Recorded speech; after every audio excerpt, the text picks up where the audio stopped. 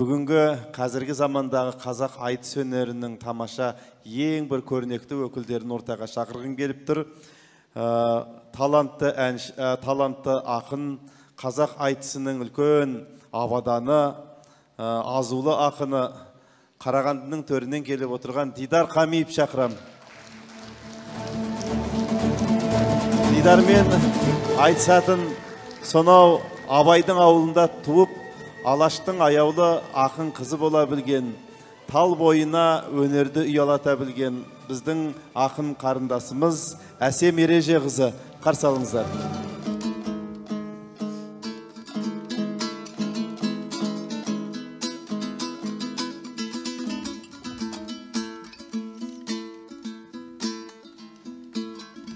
ауыздан ауыз қайтқан халқаңызын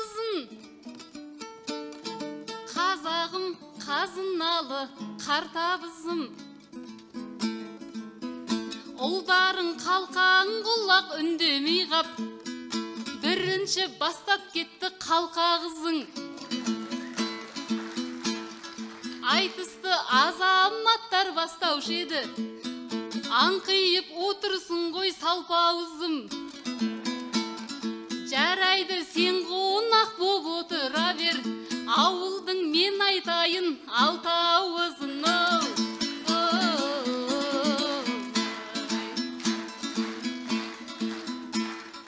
еркелеп елігіндей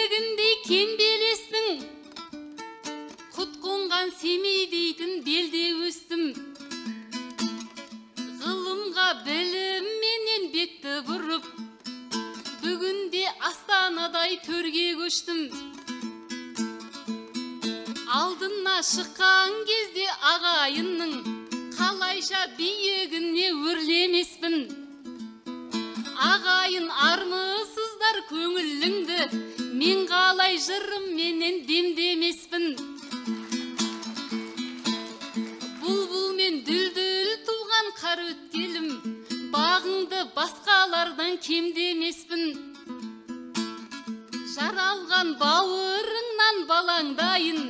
Келіп тұр жүйрегің боп желде ескім. Мен ешкім еркелетпес дәлсіздердей сіздерді сүйе алмайды мендей ешкім оу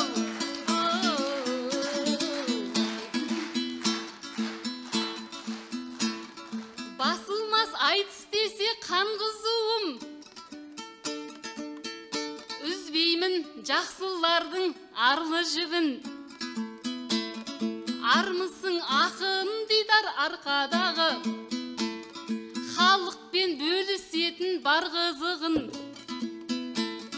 Жолықтық алла қалап нұр сұлтанда. Көрейік шапалақпен зал қызуын.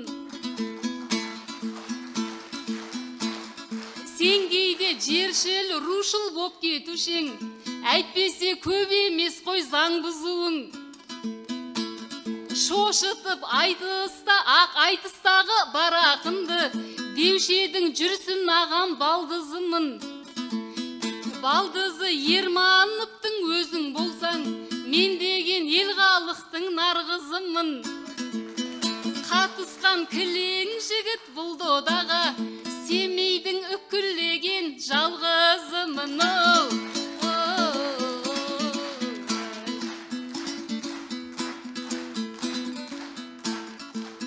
қаласын бетке алыпсың астананың. Байқаймын бойыңда бар дастан әнің бұл жерге отбасыңды ерте кепсің сәулетін көрсетем деп басқаланың. Екен ғой әйеліңнің туған күні. Өзгеше бәсе бүгін қасқабағың. Әйелдерді сыйлайтын күнің ау дейм әйтеуір сөзді бұрын бастамадың. Осындай мәрт жігітпен қарсыласқан ағайын бес ел екен баста бағым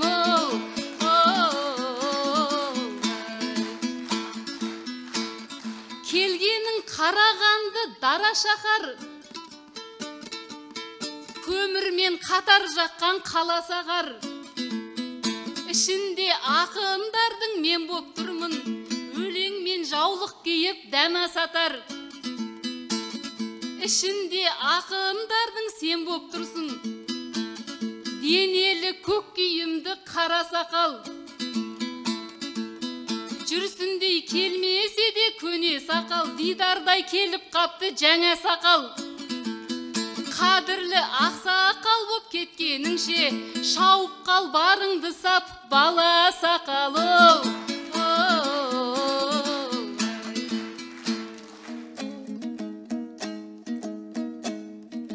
Жасымнан жырдан жастық жастап келдім. Қолымнан домбырадай аспап көрдім. Бір шыдамсыз қыз екенсің. Айтысты менен бұрын бастап бердің. Екен деп әйеліңнің туған күні оны да ортаға кеп тастап бердің. Ол рас он екіден былай қарай құттықтауы кеп жатқан ватсап келдің. Мені де жібергісі келмеп еді. Мен бірақ осы жаққа бастап келдім. Аламан айтыс өтеді деп айттым. Төрінде қар өткелдей асқақ төрдің ассалаумағалейкум ағайындар. Әрқайсыңды айбынды асқақ көрдім. Нар елімнің көңілін жырмен көтерем деп әйелімнің туған күнін тастап келдім ай.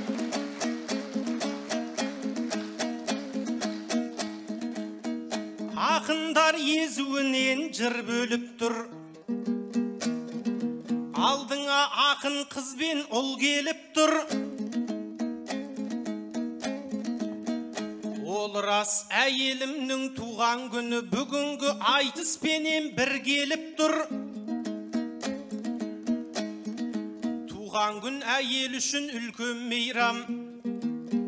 Ерекше өзі де бір түрленіп тұр. Ең алғаш менен бастап сұрағаны хош иісті керемет гүл болып тұр туған күн әйелдер бастап сұрайтын күн. Ол енді баршаңарақ баршаңызға шын болып тұр. Айтысқа кетемін деп айтқан кезде бірдеңе бастағысы келіп еді. Оны да дей алмаймын мұң болып тұр. Одан қашып айтысқа келе қалсам әсемде бұрын бастап үлгеріп тұр. Әйтеуір дидар үшін бүгінгі күн әйелдер бастайтұғын күн болып тұр.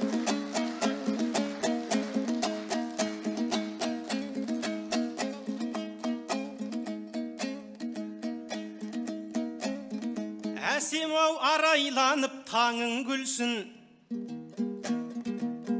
жас жігітпен айтысып жаның кірсін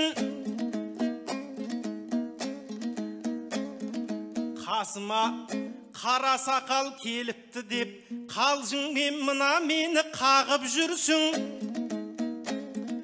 сақалым тамағыңа тақалғандай жаным ау неге сонша жанып жүрсің менікі сақал емес ну орман ғой оны да осы отырған қауым білсін. Семейдің жалғызымын дедің жаңа. Сол сөзіңмен халыққа жағып жүрсің. Олай болса жаным ау жалғыз өзің. Орманның ортасында нағып жүрсің ай.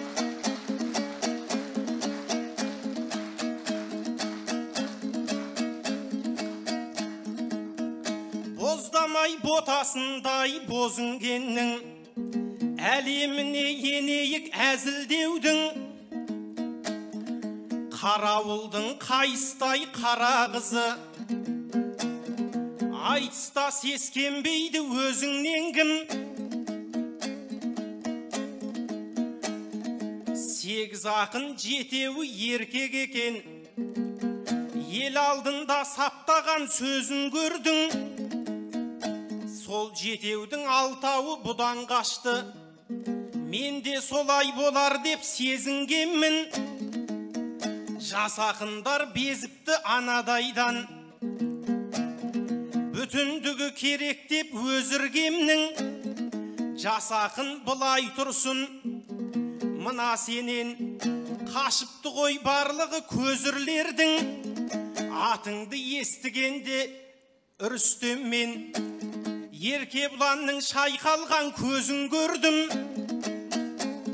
Сондықтан әсемменен сайсан деп арнайы осы айтысқа әзірлендім.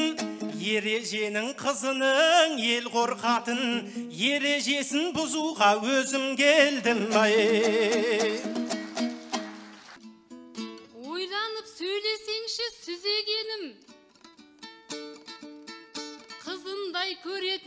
Бұл өрелім халқымды таудан биік асқақтатып терең қып теңізден де өремін. Анаусың мынаусың деп тисе берсең қай жерде жүргеніңді білер енім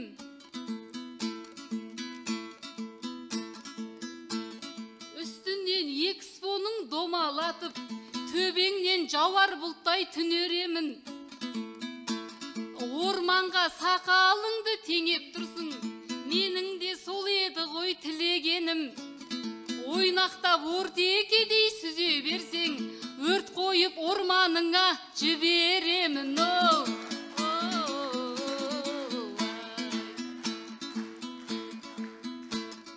астанам орны бөлек өнерлі ям. Алғыс пен ақбатаны сенен жиям. Ойпырмай құшақтаймын деп айтты ма? Дидарды деп ойласам менен бұяң сақалын тамағыма тақамақшы. Әдепсіз әкеледі өлең зиян. Бұғының қанын ішкен шал секілді. Бұлқынып тасып тұрма энергияң сапситпай сақалыңды аулақ отыр. Бар еді жүн аллергиям оу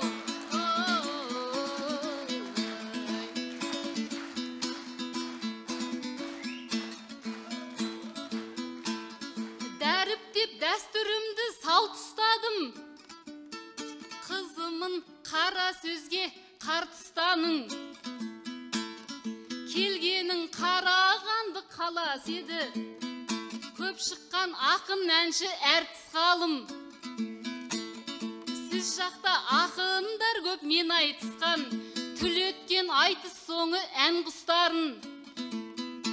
Аман жол ағамен де айтысқанмын. Бар ода маңғаз мінез мәрт ұстаным.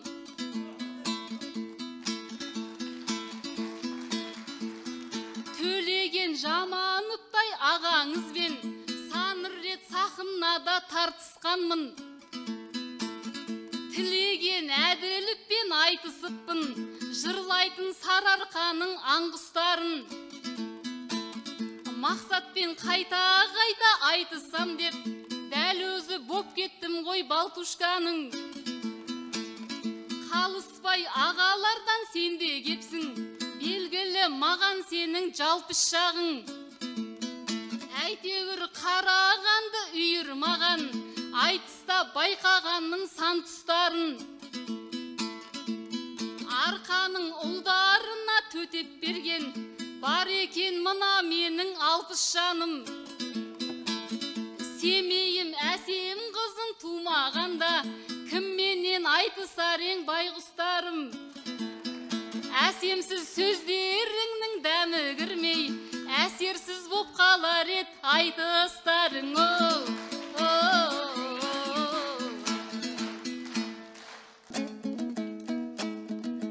сөздерің ел көңілін рас жібіткен. Отсың ау қалжыңдасып жас жігітпен орманыңа өрт қойып жіберем дейді мұның түбі бітпейді ау жақсылықпен сақалыма өрт қойып жіберердей қалтаңа зажигалка сапшығыппен басын бастап отсың ау түрлі істердің. Келгенін білмейм қайдан тың күштердің. Деп айта көрме. Ол дегенің әсем ау қылмыс дермін. Адамды өр адам өртеу арманың болып жүрме. Сериалдарын көріп ап үндістердің. Семейдің қызымын деп айтып едің. Қошеметін алмақ боп тым күштелдің шығыста ормандар көп өртенуші еді бұл талай қайталанған үрдістермін. Байқай тәуір біреуі сен боп шықпа орманды өртеп жүрген қылмыскердің ағайын қыздарыңыз бір түрлі ғой біреуі екен десем білгіштердің. Арулар жүректерді өртеуші еді сақал өртейм дегенді тұңғыш көрдім ай.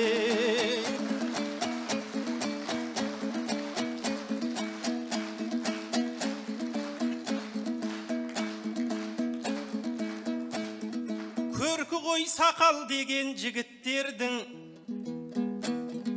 Әсемжан ел алдында мұнық дермін. Бұл жерді жарайын деп отырғам жоқ. Әсем ау неге сонша күдіктендің?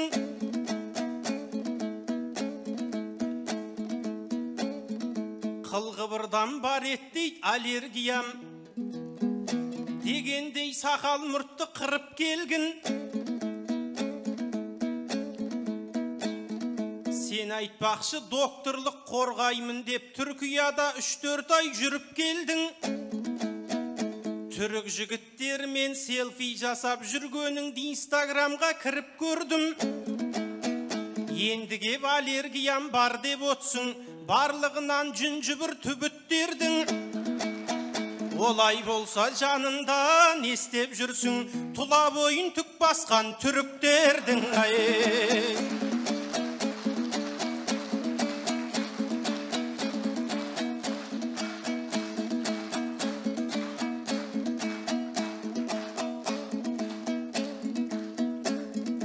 Қандырған құлақтардың жастай құршын сен едің қар өлеңге тастай жыршым.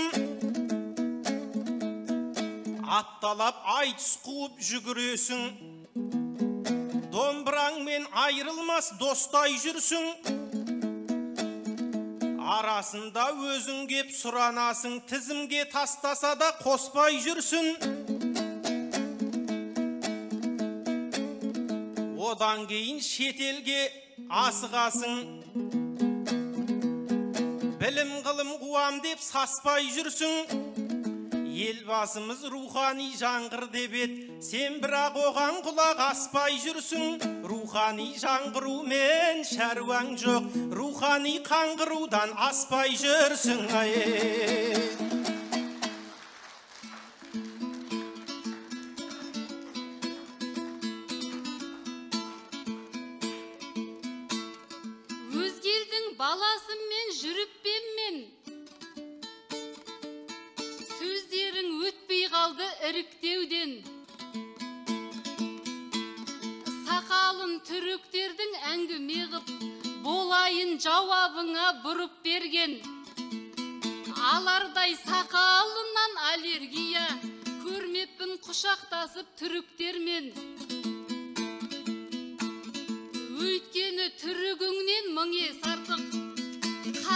Мақтанамын жігіттермен. Ер емес білім іздеп түркияға шәкәрім салған жолмен жүріп келгем. Оу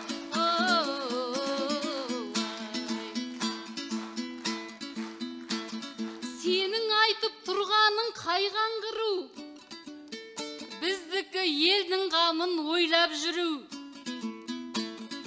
Сенікі апта сайын ел аралап бет ашып қыз ұзатып тойлап жүру.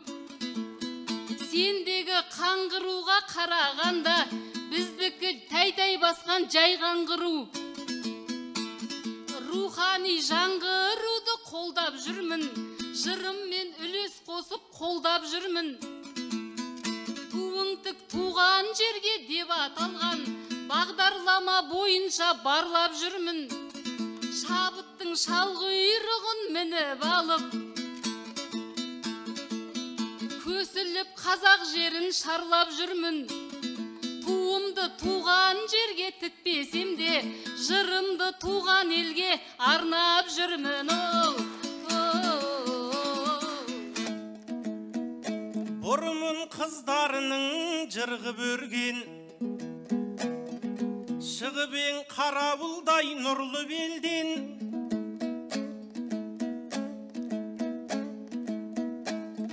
Шәкәрім салған жолмен бардым дейді. Жансыз ау бабалардан үлгі көрген. Абайдың ауылына соқпай өтпес руханиятты бетке алған күллі керуен. Абайдың әжесі зира анамыз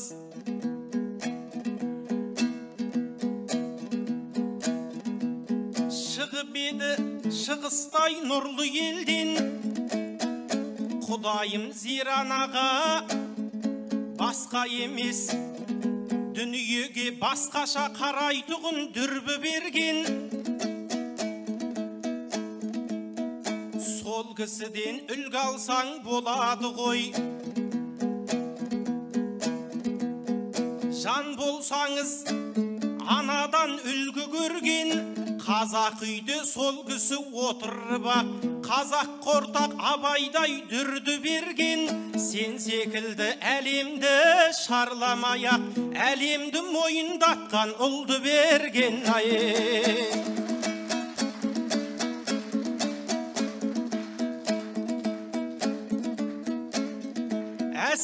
Саған да айтар ән табылар. Тұлпарымыз несіне қаңтарылар? Қазақтың жігіттері артық дейсің. Сөзіңіздің байқаймын жалпы оңы бар. Олай болса неліктен бойдақ жүрсің? Бұл ісіңе әрине таң қалу бар шынымен ниеттеніп іздер болсаң сені де сүйетұғын жан табылар ең соңғы жаңалықты естіп жатсың дүбірлеткен алатау арқаны бар қырықтың қырқасында болмаса да жаныңа жылу сыйлар жар табылар сексен екіде туған сендей қызға сексен екіден асса да шал табылар ай.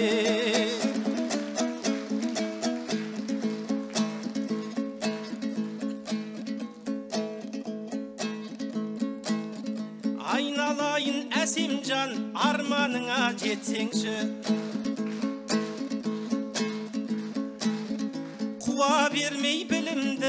білімді нұрыңды елге сепсеңші сөз салмаса жігіттер бір амалын етсеңші айтыстағы секілді өзің бастап кетсеңші эх жаным күл ойна бүгінгідей күн қайда әуелетіп ән салсам ағайынға ұнай ма қол соғыңдар мұндайда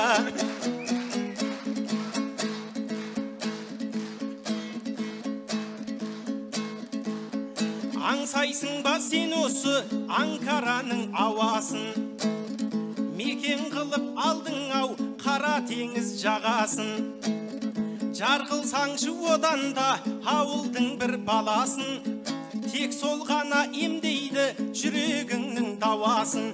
Ауылда көп жұмыс жоқ ата енеңді бағасың әрі кетсе әсемжан екі сиыр сауасың екі сиыр сауасың